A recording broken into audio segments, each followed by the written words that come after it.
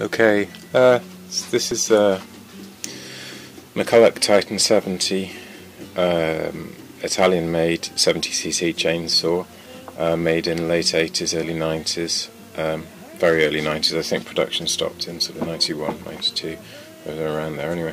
Um, 70cc, it's, uh, it's, it's, it's solid, it's, it's not a light saw, but it's uh, it's not crazy heavy, sort of old school heavy. It's somewhere in feels to me like a kind of somewhere in the region of uh, a Stihl 044 uh, Husky 272. Um, it's magnesium. It's either magnesium or aluminium, presumably magnesium, uh, crankcase with plastic in, in a modern style. Um, you got um, got uh, nothing particularly interesting about the, the starter. Um, I mean, um, you, have got a decompressor here, which uh, I don't know if it's if it's sort of designed to be self-returning. It, it, whenever I come back to the saw, it's uh, it's in decompressed state. I don't know if that's an intentional thing or just because the spring is slightly worn.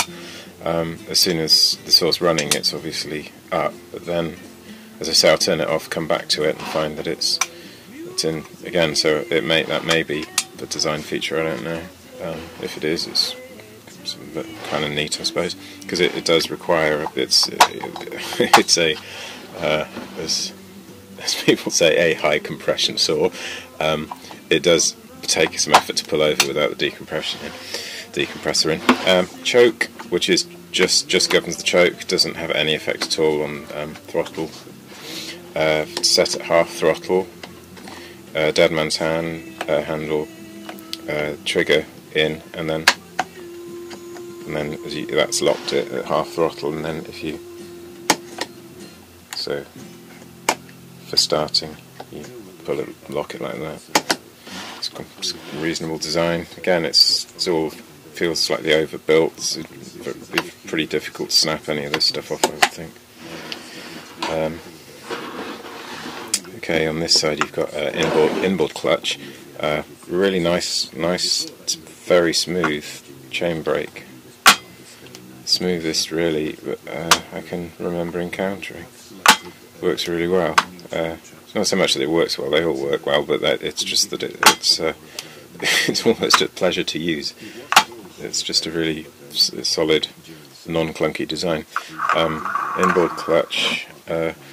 I don't know if you can see here is the oil tank, which is a, um, a separate part, uh, which is sort of sandwiched in here some somewhere somehow. Um, which I don't know. I suppose it enables you to change the the oil tank without having to change the crankcase or whatever. If you hole it, I don't know what decision. I don't know why that decision was made.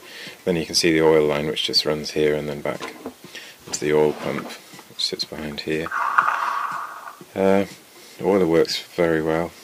The oiler is strong. Um, but as as the as the saws came from the factory, as far as I'm aware, anyway, assuming that most of this is original, um, uh, the annoying selection of, um, of, of hex bolts and Allen bolts and uh, flat, you know, uh, slot head bolts um, I've changed most of the the plastic over to Allen just for ease of uh, use. Um, but yeah, that, um, that, was a strange decision. I've, again, you can see I've changed these over to a you know hex key. Um, the the the mufflers are um, eight mil um, hex nuts. it seems like a strange decision to have such a variety of tools required to strip the thing down, but slowly I'm changing everything over so it's all um, hex key. I'll show you the um, the air filter. So I've changed these. Oh, I think I've already said that. Um, they were um, slot-headed bolts, as most of them are on this saw, or were.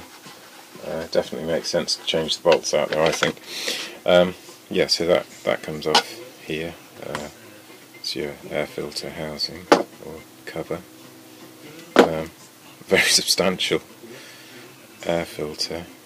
Um, you can still buy these new, um, which I'm going to shortly.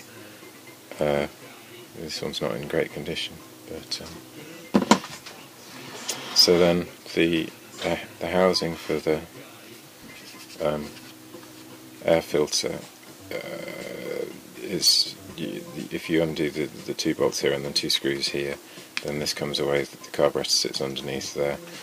Um, not really much to say about that. Um, yeah, that's about it really. Um, so yeah, it's a, it's a strong old saw leaning towards the heavy, I suppose. Um, sounds amazing. There's no point starting it up on camera really because you, you won't get any with my phone camera, phone camera microphone. You won't get any sense of the uh, the the brilliant noise it makes.